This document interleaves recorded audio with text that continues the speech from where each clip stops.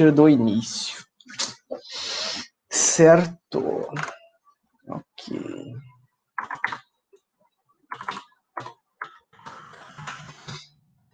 Beleza, então. Bom dia a todas e todos. Eu sou o Alan, sou membro da Sociedade de Debates da Sociedade de Debates da UFSC, e hoje a gente vai dar uma capacitação que é uma aglutinação de outras capacitações sobre construção de caso. Tanto, então, as referências são no vídeo do Giovanni Begossi, da Ina Rashid, do Luca dos Senatos, e também duas outras capacitações internacionais, uma do México e uma de um cara da Oxford, se eu não me engano. Então, eu tentei aglutinar essas informações e trazer um pouquinho mais de substância em alguns, em alguns tópicos e também adicionar algumas coisas que eu acho importante para que a gente consiga desenvolver o que é uma construção de caso. Eu vou fazer também um mix entre duas funções, que é tentar ser objetivo e tentar trazer exemplos. Eu não quero que essa capacitação fique muito longa e, tipo, chegar momentos que eu só fico dando exemplos, exemplos, exemplos, porque isso deixa a capacitação um pouco maçante, mas também não vou tentar deixar ela abstrato o suficiente para, tipo, oh meu Deus, o que está acontecendo? Então, qualquer coisa, se vocês quiserem uh, alguma resposta específica, algum exemplo específico, peço que enviem no chat e se uh, talvez o Cris puder entrar na live e puder selecionar ali alguns pontos, seria interessante para fazer essa administração, já que eu vou ficar com a tela aberta para apresentação. Mas se não rolar também, tranquilo, a gente dá aí um, um mix entre passar as, os tópicos e eu volto aqui na tela principal.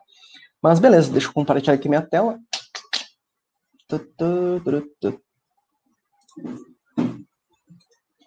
Janela de aplicativo, isso aí que eu quero. Ok, eu acredito que não esteja vendo a minha tela. Não sei se vocês estão me vendo. Se alguém puder só responder no WhatsApp ali e confirmar que vocês estão vendo tudo, eu agradeço.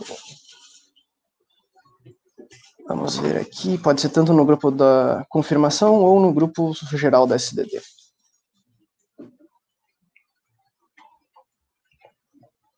Tá, ok. Tá, então vou considerar que tá todo mundo me vendo. Beleza. O que, que é isso? É um uma capacitação de construção de caso. Beleza. Qual que é a pegada? Isso aqui é o caso do debate. Percebam. Ah, deixa eu ver. Ah, ótimo. Beleza, Arlington, obrigado. A construção, no caso, é a solidificação de algo fundamental para o debate. Vocês não, deba vocês não ganham uma, um debate com um argumento, vocês ganham um debate com um caso. Depois que eu explicar as etapas de como se constrói um caso, vocês vão ver um desenho bem ilustrativo e bem prático do que, que eu estou dizendo. Mas fiquem com essa imagem na cabeça de uma estrutura grande que tem pilares e que ela sustenta uma ideia. Beleza. Qual o primeiro passo para vocês construírem um caso? Vocês têm que saber ler a emoção. Essa não vai ser uma capacitação sobre leitura de emoção. Tem várias capacitações muito boas, até inclusive acho que da Alice Bertoni e também da Julia Agache no curso de educação do IBD. Então deem uma conferida. Eu vou trazer um overview sobre todos esses tópicos gerais e vários desses tópicos têm capacitações específicas sobre eles. Então, percebam que, se vocês quiserem se aprofundar em alguma coisa mais específica de qualquer um desses tópicos, vai ter alguma capacitação que já existe, ou a gente pode também produzir. Não se preocupem. Qualquer coisa vocês podem pedir para nós, que eu e o Pazinho vamos dar conta de resolver isso aí. Beleza, primeiro ponto. O que é a emoção? Vocês precisam saber que tipo de emoção está sendo uh, proposta naquele debate. Então, a gente tem três tipos gerais de emoção, que elas podem se, tanto se intercalar quanto uh, se aglutinar.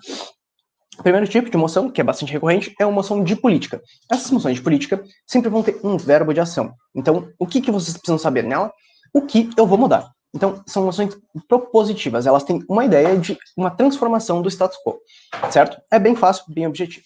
Beleza. Ponto número dois. São emoções valorativas. São emoções de moral. Então, o que algo é bom ou algo é mal. E, fundamentalmente, nesse tipo de emoção, vocês têm que responder por que alguma coisa importa. Beleza. E o terceiro tipo de emoção é a emoção de agente. Então, eu, sendo a pessoa X, o que eu vou fazer? Um exemplo bem prático é aquela emoção do enquanto Michel Temer, uh, eu me arrependo de ter dado o golpe. É, então, quando vocês argumentam, vocês não tem que explicar o porquê que o golpe foi ruim, ou se ele não foi golpe, enfim. Você tem que mostrar o porquê necessariamente para o agente é melhor fazer A ou B, ou se sentir feliz, ou arrependido, enfim, lá, lá, lá. Vocês nunca vão debater em terceira pessoa. A moção de agente ela é fundamentalmente em primeira pessoa. E percebam, as moções de agente também não se tratam só de pessoas.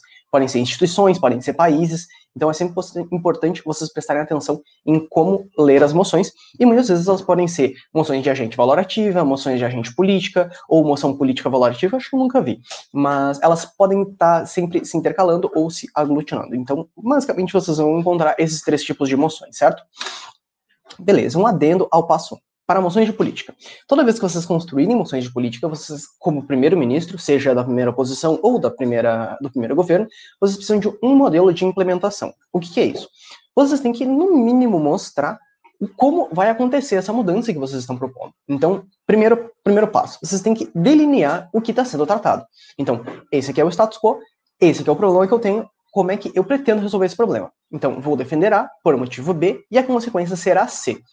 Percebam que entre essas vírgulas que estão entre o A, o B e o C, é fundamental que existam links lógicos e uh, passos suficientemente provados para que fique claro, para que não existam saltos lógicos entre eu vou defender A, eu vou tentar trazer um exemplo. Digamos assim, eu quero resolver o problema da segurança pública no Rio de Janeiro.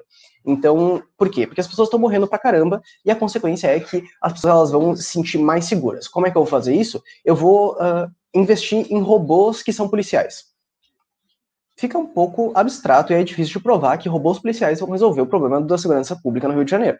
Mas percebam que toda a construção até ali, ela faz algum sentido, mas sempre lembrem de ser plausíveis. Depois eu vou tratar melhor isso na parte da argumentação.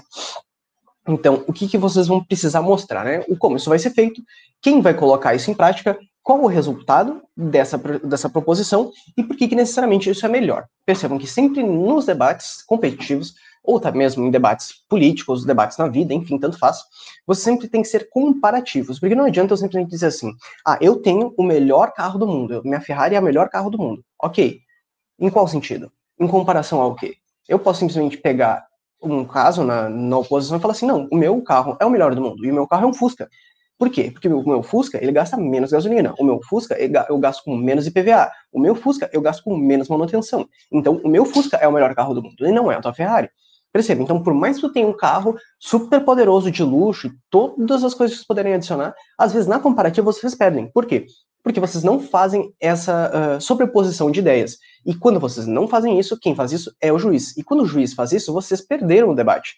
Porque vocês estão deixando com que uma terceira pessoa decida o que, que é melhor e o que, que é comparativo de verdade. Então, é sempre importante quando vocês fizerem esse tipo de moção, principalmente na moção política, mostrar: olha só, quando nós, quando o governo, quando a gente implementa essa moção, ela resolve esses problemas em comparativa com o caso da oposição, que vai, uh, tipo, piorar o status quo, que vai uh, afetar mais as minorias, enfim, isso depende muito da moção. E também, uh, outra coisa importante, que talvez alguns de vocês já saibam, mas é sempre bom levantar e reforçar, que é o seguinte, existe uma coisa que chama fiat do governo. O fiat do governo é a possibilidade de debater a moção que isso quer dizer? Se, digamos, a gente está debatendo uma moção de essa casa, uh, ao invés de salvar o planeta Terra, colonizaria Marte. Beleza, o governo vai lá, cria toda a proposição, ah, a gente vai ter naves espaciais, enfim, lá, lá, lá. A gente vai dar um jeito de fazer. E aí vem a oposição e fala o seguinte, ah, mas é muito caro, ah, a gente não tem tecnologia suficiente. Na verdade, para que a gente debata isso, a gente tem esses mínimos pressupostos de acreditar que a moção é executável.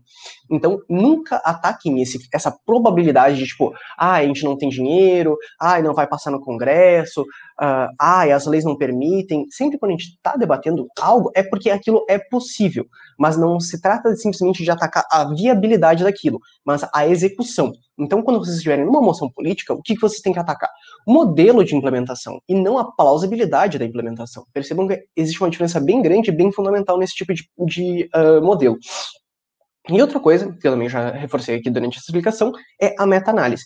Toda vez que isso vai se caber muito mais nos adjuntos e fundamentalmente nos WIPs, que é, ok, a gente tem o caso A, o caso B, qual é o melhor caso do debate? O meu caso, ele responde a, uh, tipo, problemáticas A, B e C. O caso da oposição não responde a B e C, ou eles não abertam um, os, os envolvidos mais, uh, mais vulneráveis, ou uh, essa moção não é suficiente para resolver o problema. Então, essa meta-análise é sempre fundamental para essas moções de política. Por quê? Porque vocês vão comparar o que de fato ocorreu. A meta-análise também funciona para as outras moções, mas fundamentalmente ela é bastante útil nas moções de política, certo? Então, só deixa eu ver aqui se você alguma dúvida. Beleza. Certo, próximo passo. É o passo número dois, que é a visão do debate. São três coisas que vocês precisam anotar e vocês precisam saber sobre visão de debate. Um, qual é o status quo? Então, o que, que, vocês, o que, que é o status quo? Vocês têm que saber o que está acontecendo no mundo. Por que, que necessariamente aquela moção é feita? Porque quando as moções elas são construídas, elas têm a, a a pretensão de resolver algum problema, elas têm a pretensão de solucionar alguma situação. Então, você tem que perceber como o mundo está agora. Essa é a primeira coisa que vocês precisam pensar no, durante o tempo de preparação de vocês. Número dois, o que vocês querem resolver? eu sei que parece muito óbvio e que eu lendo essas coisas parece assim, ah, que coisa idiota, qualquer uma pessoa faz isso. Porém, quando a gente tá no, no debate, às vezes a gente tá ali com pressa, tem assim, meu Deus, essa emoção aqui, eu sei o que fazer. Tenham calma, tá ligado? Isso é importante. Façam passo por passo. Tipo, no início vocês vão acabar demandando muito tempo em resolver esses probleminhas, mas a partir do momento que vocês deixam isso no modo automático, que vocês conseguem já ter uma percepção de que esses são os passos necessários para construir um caso, isso vai se tornar fácil. Vai ser, tipo, uh, fluido. Às vezes, naquele tempo de preparação que tu tá com a tua dupla e aqueles três minutinhos que vocês estão conversando, ou aqueles três minutinhos que vocês têm para pensar nas ideias, essas etapas elas vão ser naturais para vocês. Pensar, ok, esse é o status quo, eu quero resolver qual o problema e por que que o nosso caso. Esse é fundamental. Às vezes a gente consegue completar o passo 1 e o passo 2, mas não necessariamente o caso 3. O que é? Porque só o meu caso resolve o problema do debate. Isso é um, realmente é a parte mais difícil, mas quando vocês conseguem dar esse, essa delimitação, que fundamentalmente seria interessante vocês fazer isso no sexto minuto do debate de vocês, que é, ok, eu consegui explicar o, prim, o primeiro passo, qual é o status quo, que seria o framing, né, o enquadramento do debate. O dois, o que a moção quer resolver, que é o argumento de vocês, é a proposição que vocês estão trazendo para solucionar esse problema. E três, por que que necessariamente, que essa é a meta-análise, o nosso caso vai resolver esse problema. Pode até mesmo vir já em alguma instância nos primeiros ministros ou nas primeiras ministras, mas, de forma geral, normalmente quem vai responder o ponto 3 é o adjunto e o we. Certo? Deixa eu ver aqui se tiver alguma dúvida. A princípio, não. Próximo passo. É o passo número 3. O que um argumento precisa. Essa é a parte bem legal. Então percebam, quando vocês conseguem descobrir o que um argumento precisa, vocês rest in peace. R-I-P. Sacou? Esse, essa capacitação eu tentei criar o máximo possível de anagramas para vocês conseguirem lembrar de forma mais fácil, como se fosse tipo um cursinho, de o que vocês precisam fazer no debate o que vocês precisam fazer em cada passo. Então prestem atenção e lembrem dessas, uh, desses anagramas que vai ser bastante útil para vocês. Então, o que, que um argumento precisa? Um, ele precisa de relevância. Por que isso importa? Se vocês não conseguirem responder o porquê aquilo importa, vocês já não vão conseguir seguir para os próximos passos.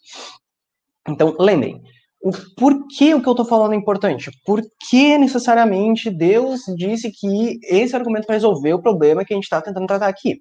Então, isso é importante. Qual é a relevância de vocês agirem de tal medida, determinarem ou se apegarem a tal valor, ou necessariamente porque para um agente é mais importante fazer algo A, B ou C. Beleza. Segundo passo, impacto. Qual é. E daí? Ok, isso importa? Tá, mas e daí? Qual o resultado disso? Sério, se vocês estiverem pensando em algum argumento, vocês chegarem no, status dele e falarem, e daí? Se vocês não conseguirem responder isso, e daí? Tá ligado? Tanto faz, tudo que tu falou não serve para nada, porque ele não tem impacto. Então, por mais que o mecanismo funcione, a gente vai chegar ali no parte do mecanismo também, por mais que ele tenha alguma relevância, qual é o impacto disso? Isso vai mudar o quê? E, fundamentalmente, lembra daquele exemplo do Robocop dos policiais robô. Qual é a plausibilidade? Tu tá falando, explicando ali uma coisa muito mirabolante. Tipo, tá, tá tirando, pô? Como assim que o robô vai resolver o problema da segurança pública no Rio de Janeiro? Isso não faz nem sentido. Então, para um argumento ser útil, ele precisa ser relevante, ele precisa ter impacto e ele precisa ser plausível. Então, quando vocês têm essas três coisas, vocês matam o debate. Então, por isso, o rest in peace. Beleza, acho que o terceiro passo ficou bem claro e explicadinho. Vamos pro AD no terceiro passo. A gente também tem que lembrar que existem três tipos de argumentos, ou melhor, desculpa, cinco tipos de argumentos gerais que vocês vão encontrar em todo o debate, e de forma geral eles não vão fugir muito disso, que é sempre o MC-Lane. Então, toda vez que vocês estiverem pensando no caso de vocês, em argumentos necessários, lembrem do MC-Lane, que é a moralidade, o custo-benefício, a legitimidade, a eficácia e a necessidade. Se vocês conseguirem lembrar do MC-Lane toda vez que vocês forem debater, vocês nunca vão ficar sem caso. Então, tipo de argumento moral. Ah, tá, a gente tem que defender a autodeterminação dos povos, porque ela é mais relevante, enfim. Eu não vou, tipo, me adentrar muito nos tipos de argumento, mas só para ter um exemplo claro, assim, para ficar prático essa parte da explicação. Então, um argumento moral é algo que dá valor para alguma coisa, é algo que dá legitimidade, é alguma coisa que faz se crer. Uma coisa importante sobre um, um argumento moral é o seguinte, que toda vez que tu faz um argumento moral, vocês têm que convencer o juiz ou a, a plateia ou enfim a outra bancada que eles já acreditam em alguma coisa e por que aquela coisa é, é relevante. Tipo, ah, vou pegar um exemplo bem mais ou menos, que é o, o, direito à vida. Digamos que o direito à vida é um argumento moral supremo, tá ligado? Então, todo mundo acredita que as pessoas têm direito a viver. Então, eu só preciso provar para ti por que aquilo é relevante e por que é plausível utilizar essa, esse ponto, esse tópico, para minha argumentação, certo? Custo-benefício é um trade-off econômico. O que, que é? Então, é mais eficiente, melhor, ele tem, é mais vantajoso, dá mais resultado, ele traz mais benefícios quando você faz A por B. Custo-benefício é um dos mais fáceis de provar. Legitimidade. Ah, beleza, a gente está falando de intervenções militares uh, em países que estão sofrendo uma ditadura. É legítimo que nós uh, vamos lá para resolver o problema deles, que essa organização internacional tem mais legitimidade do que outros países, enfim, lá, lá, lá. Ou argumentos de justiça, tipo, ah, o judiciário ele deve sim legislar ativamente, porque ele conhece as leis, ele está ali disposto no dia a dia jurídico do país, enfim, lá, lá, lá. Legitimidade também é bem razoável, é mais um, quase um argumento de autoridade, mas lembrem, é diferente de um argumento de autoridade. Ponto. Eficácia. Eficácia é o mais simples. É literalmente, uh, como é que eu posso dizer? É utilitarismo. O que, que é mais eficiente? Eu passar o bonde em cima de cinco pessoas ou passar o bonde em cima de uma pessoa. Vocês têm que provar o que, que é mais eficiente. Então não é muito complicado, assim, é mais prática, é dos, desses cinco é o mais fácil. E também a necessidade. Olha só, a gente está em um status que a gente precisa fazer uma reforma agrária. Se a gente não fizer essa reforma agrária, não vai ter comida para todo mundo. A gente vai continuar destruindo a natureza e a gente não vai conseguir alcançar os meios necessários para chegar a uma sociedade igualitária. Aí o que acontece quando tem esse, esse argumento da reforma agrária? Um golpe militar. Não, mas, mas assim, só um contexto histórico, para vocês pensar um contrafactual que, quando a gente tem esse argumento de necessidade, é necessidade para quem? Então é bastante importante lembrar e ter cuidado com esse tipo de argumento. Deixa eu ver aqui. Hum, ok, nenhuma pergunta. E. Certo. Eu acho que dos tipos de argumento, a gente também pode fazer uma capacitação específica sobre cada um deles, enfim, só para ficar mais claro, mas como eu disse, esse é um, uma análise geral. O que, é bastante também importante lembrar é que, a partir do momento que vocês têm esses argumentos, vocês têm que desenvolver a estrutura deles, que é quais são os passos que formam um argumento. Esse aqui talvez seja o ponto que a gente vai demandar mais tempo, mas que vai ficar bastante interessante para vocês perceberem. Ok, qual que é o... Ah, uma coisa que eu esqueci de falar no início da capacitação. Vocês querem construir um caso legal? Utilizem canetas coloridas. Essas canetas são bastante úteis para fazer o seguinte, vou pegar só uma delas para dar o um exemplo. Vocês vão pegar, e quando vocês estiverem escrevendo o argumento de vocês, escolhe a cor preta e escreve qual é a afirmação de vocês. Eu vou uh, resolver o problema da fome mundial. Ó, e é importante, quando vocês estiverem fazendo a, a afirmação, muitas vezes é importante que vocês deem o título do argumento de vocês como o, o impacto. O que isso quer dizer? Então, eu quero resolver, digamos, o problema da, da, da, segurança pública no Rio de Janeiro. Então, o nome do meu argumento é uh, criar milícias armadas das pessoas que estão dentro do, dessas comunidades. Então, milícias armadas vão resolver o problema da, da segurança pública, porque mais armas geram mais segurança. Várias aspas, pelo amor de Deus. Então, esse é o nome do argumento. Então, percebam que quando vocês conseguem, nem sempre vocês vão conseguir colocar o nome do impacto de vocês como o nome do argumento. Mas, de forma geral, é bastante funcional quando vocês conseguem fazer isso. Mas, ok. Depois que vocês têm o nome do argumento de vocês, vocês precisam de uma explicação. Muitas vezes a gente dá vários feedbacks de, ah, faltou análise, faltou análise. O que é faltar análise? É vocês conseguirem explicar como as coisas se sucedem. Então, percebam, a gente tem dois tipos de análise, tanto a vertical quanto a horizontal. Qual que é a vertical? Então, a gera B, que gera C, que gera D. Então, é uma sequência lógica. Muitas vezes a gente pode acabar caindo na falácia do uh, ladeira escorregadia, que é quando vocês simplesmente tiram o passo B, o passo C já não faz mais sentido. Então, é uma sequência de informações que, se elas não estiverem bem encadeadas, elas vão acabar gerando uma falsa uh, percepção de correlação e uma falsa uh, concepção de causalidade. Outro ponto também que é interessante é a horizontal. A a partir do mecanismo X, gera B. Então, às vezes, o salto lógico está exatamente em não explicar o porquê o X funciona. Talvez aqui um exemplo fosse mais prático, mas eu vou tentar ser mais abstrato possível para que essa informação ela caiba em diversas situações. Então, essa, uh, essa explicação horizontal é exatamente uma percepção onde passos que tu vai preencher na tua argumentação, na explicação de como aquilo funciona, que vai gerar o efeito esperado. Então, é mais fácil tu argumentar de forma horizontal justamente por quê? Porque se um daqueles passos no vertical não fizer sentido ou ele não for suficientemente explicado, ele vai invalidar o restante da sua tese. Porém, quando você tenta fazer uma argumentação horizontal, se simplesmente vocês não conseguem preencher muito bem o X, vocês criam um vácuo. Vocês criam exatamente o que a gente chama de salto lógico. Então, são esses dois tipos de explicação possíveis, podem ok, ocorrer outros, mas esses são os dois básicos que eu consigo explicar agora para vocês, para ficar de forma objetiva essa capacitação.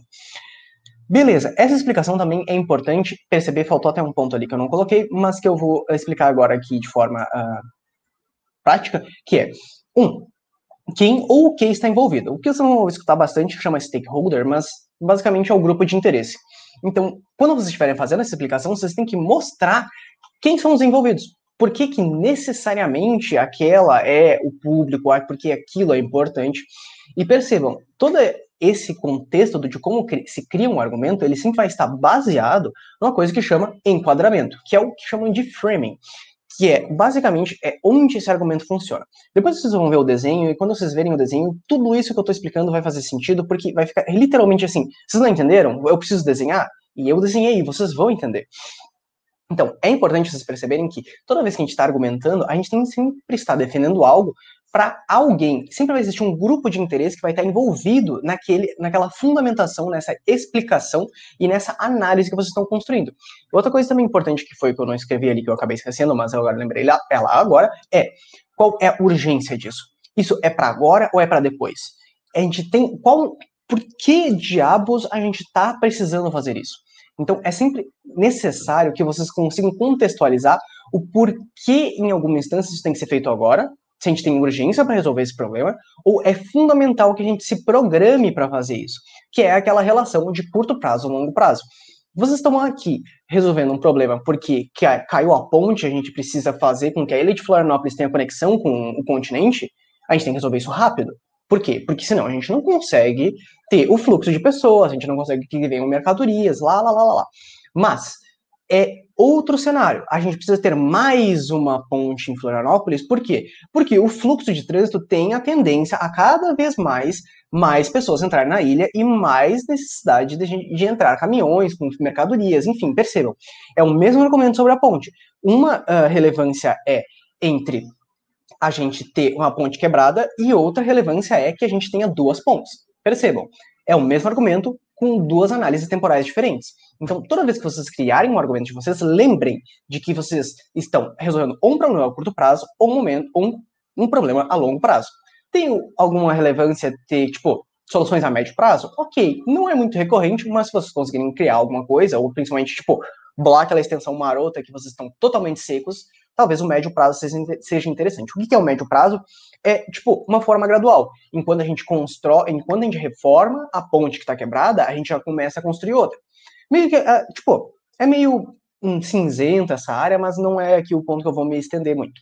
Beleza. Outra coisa que é, tipo, é fundamental. Tipo, ok, eu falei várias coisas que são fundamentais, mas essa aqui é, tipo, o supra-sumo, que é o que são mecanismos e por que, que eles são fundamentais para os argumentos de vocês. Mecanismos são coisas que não se refutam, são explicações genéricas e explicações fundamentais que a bancada oposta não vai contestar vocês. Digamos assim, uh, até, inclusive, acho que uma das próximas capacitações vai ser capacitações sobre mecanismos, porque elas são bem necessárias. O que, que é? É basicamente o motor do argumento de vocês. Então, vamos dizer assim, uh, o mecanismo de que as pessoas, quando elas sentem medo, elas têm mais tendência a agir na defensiva. Vocês não vão contestar que pessoas com medo agem na defensiva, mas vocês têm que provar outro mecanismo, porque aquilo é relevante. Tipo, um mecanismo econômico é o custo-benefício. Então, é o trade-off. Se a gente tem que escolher fazer uma ponte agora ou fazer uma ponte depois, eu vou ter que gastar dinheiro. Esse dinheiro vai ter que ser aplicado em uma situação só. Então, é muito fundamental que vocês percebam que esses mecanismos é o que dá plausibilidade para o argumento de vocês. É aquilo que é literalmente é um motor do argumento de vocês. Sem o mecanismo, vai parecer que vocês estão inventando um motivo porque aquilo funciona. Então, o porquê o argumento de vocês funciona está ligado no mecanismo. Tem diversos tipos, tem mecanismo psicológico, tem mecanismo econômico, tem mecanismo político, tem mecanismo social, tem mecanismo midiático. Tipo, um exemplo de mecanismo uh, midiático que eu consigo lembrar agora de bate-pronto é a partir do momento que vocês estão nas redes sociais e que vocês colocam os dados de vocês lá, dando like, compartilhando publicação, se inscrevendo no canal e deixando um joinha, vocês acabam gerando insumos para aquele, uh, para que as redes sociais e aqueles algoritmos continuem gerando uh, conteúdo e continuem gerando publicações que estão atreladas a vocês.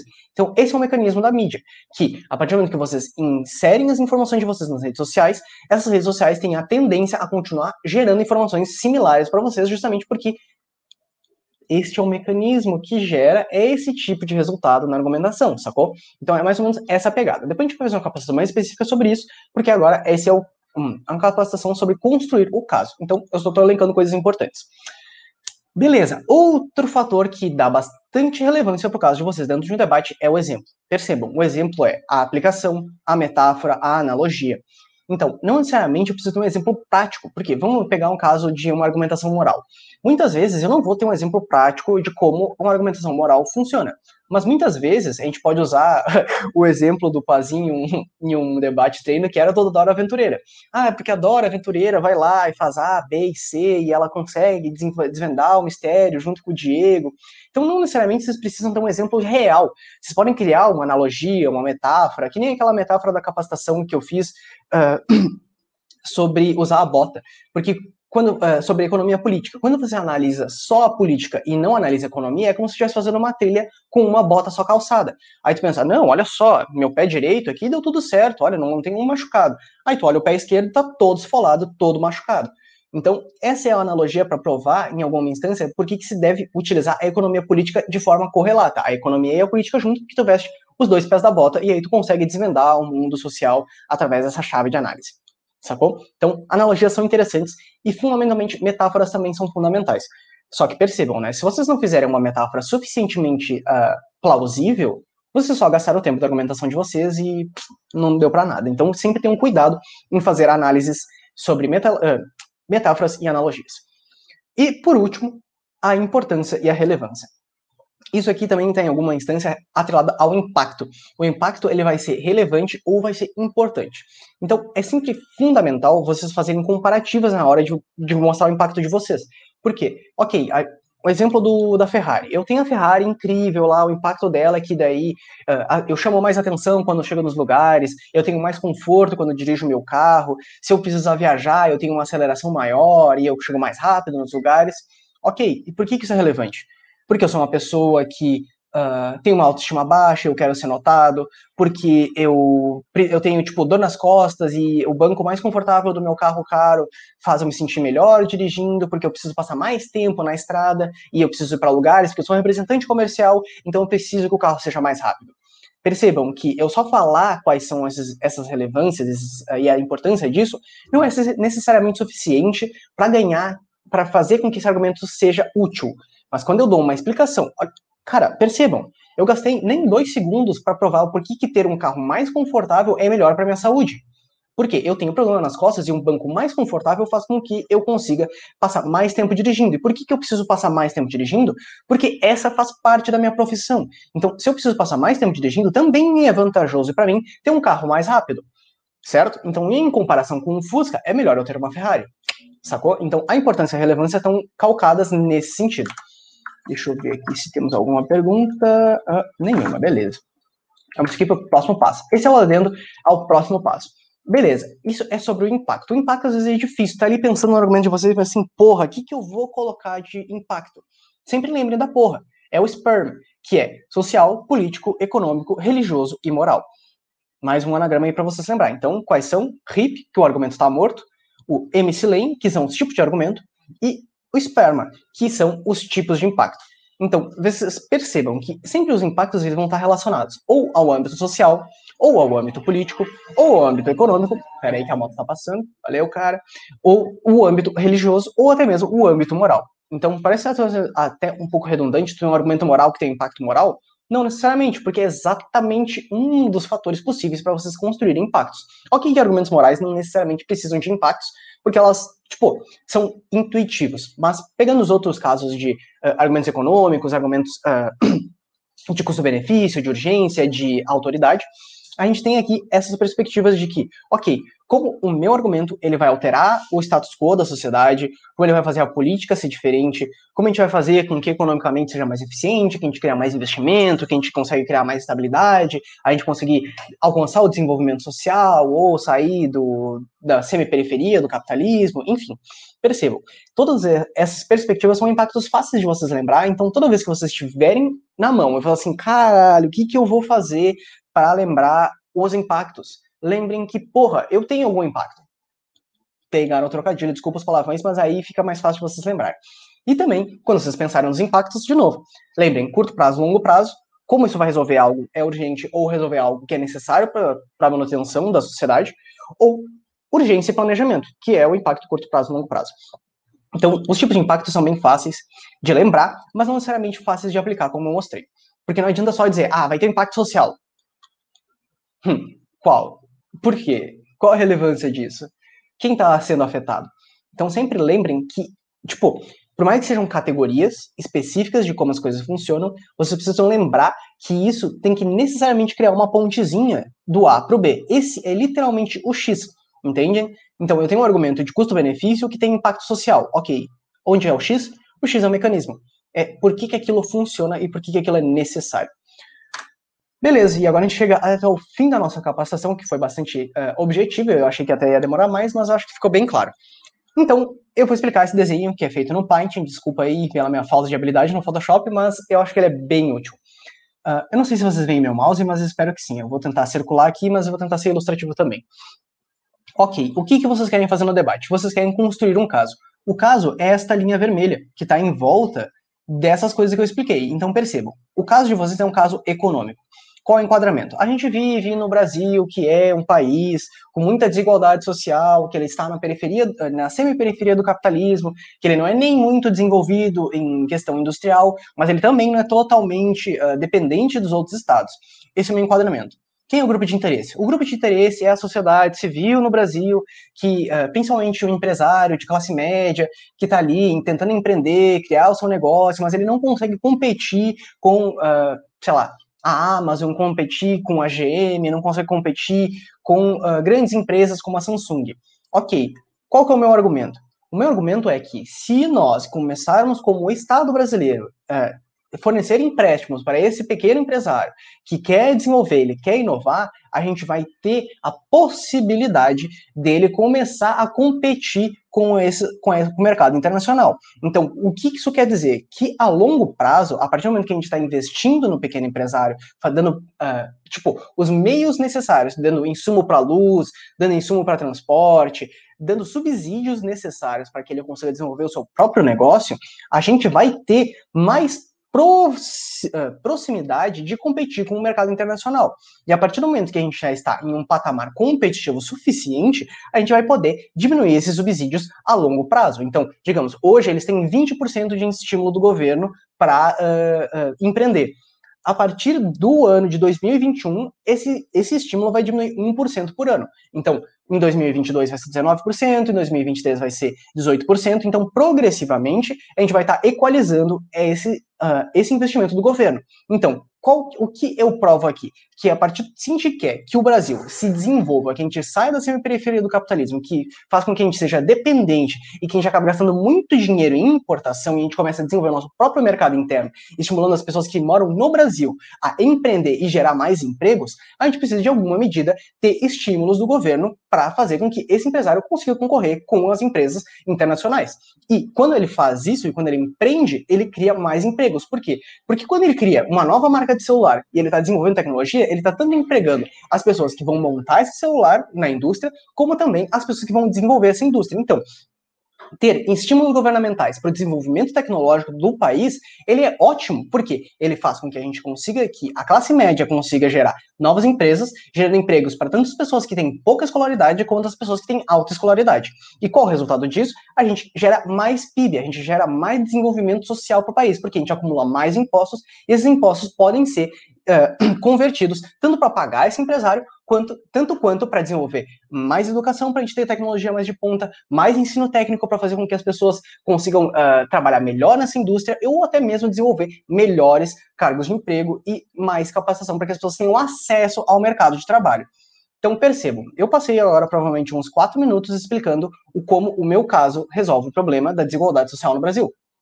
Entenderam? E eu passei por todas essas etapas. A gente tem um enquadramento que o Brasil é um país uh, em, na, semi, na semiperiferia, que é uh, dependente em alguma instância e acaba gastando muito dinheiro em importação. A gente tem o grupo de interesse, que é o pequeno empresário, ou até mesmo as pessoas de baixa escolaridade, ou as pessoas que saem da faculdade. A gente tem uns argumentos, que é uh, a construção de um mercado doméstico e a fomentação. Opa, e aí, cara, vai participar também da capacitação hoje? E a fomentação a, ao desenvolvimento de tecnologia. Percebam, é plausível. Eu estou dizendo que o cara vai gerar emprego para criar uma nova marca de celular.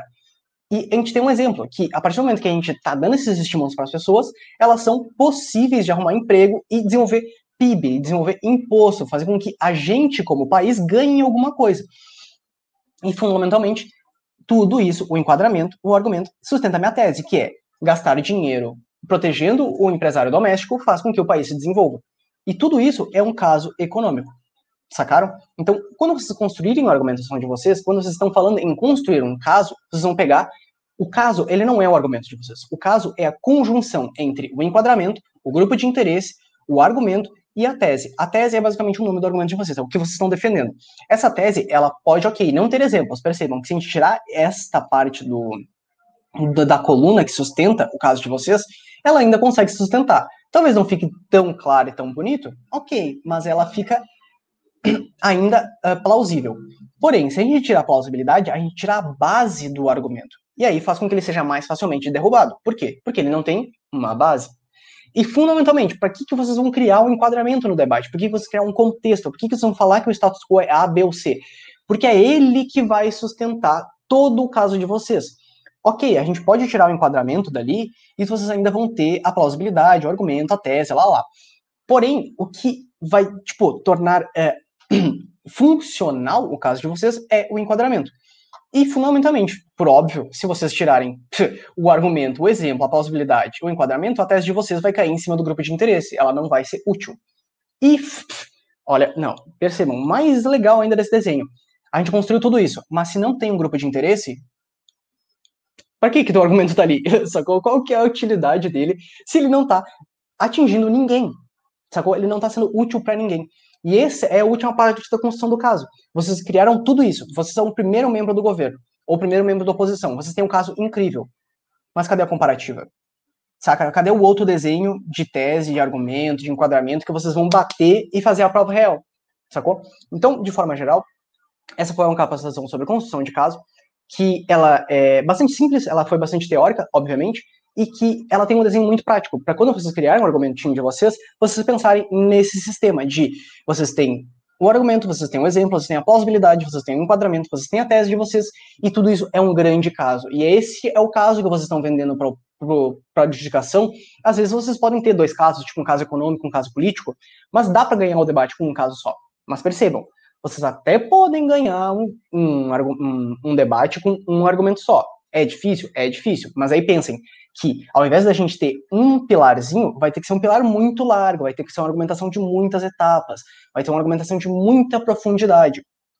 Então, percebam, vocês conseguem botar até mais um pilar ali, só que toda vez que vocês estão argumentando, vocês vão gastar tempo para isso. Então, dois argumentos é interessante, é funcional o suficiente. Um argumento é útil, mas é difícil. Três argumentos, vocês demandam muito tempo e às vezes não é suficientemente capaz de explicar tudo. E, no geral, se vocês não conseguem juntar todas essas coisas em uma tese, em, eh, ou melhor, em um quadro só, em um caso só, talvez não seja útil. Por quê? Ok, a gente construiu aqui os argumentos, tem aqui o enquadramento, tem um grupo de interesse, tá, e daí, qual que é o caso? O que, que vocês estão tentando provar? Qual que é a macro, qual que é a meta-análise? Porque a meta-análise não vai ser feita no exemplo de vocês. Não vai ser necessariamente feita no grupo de interesse, e nem mesmo usando os argumentos. A meta-análise vai ser feita usando o caso, o caso que resolve o debate. Não é o argumento que resolve o debate. O argumento ele é só parte para sustentar a tese de vocês para que vocês tenham um caso para resolver o debate, certo? Deixa eu ver aqui, então, se vocês têm alguma pergunta. Ok, acredito que não. Se vocês tiverem alguma pergunta, podem mandar. Sim, eu vou mandar o desenho no zap, não tem problema. Se vocês tiverem alguma pergunta, podem fazer agora no chat, que eu estou observando. E se não, a gente já encerra a live por aqui. A gente teve aí uma capacitação de 50 minutinhos, milagre, porque normalmente as capacitações demoram tipo uma hora e meia, duas horas, então acho que foi bem útil, bem, bem prático. E também dá para assistir no vezes dois, eu acho. Se eu não falei muito rápido, mas se eu falei também paciência, né? Pelo menos já tá no vezes dois automático. certo, galera? Então é isso aí. Qualquer coisa que vocês tiverem de dúvidas, uh, mandem lá no grupo do Zap, mandem aqui nos comentários também, para caso vocês assistirem essa capacitação em outro dia, em outro momento. E acredito que seja isso. Espero que vocês tenham aproveitado e forte abraço. Valeu! Como é que eu. Aqui.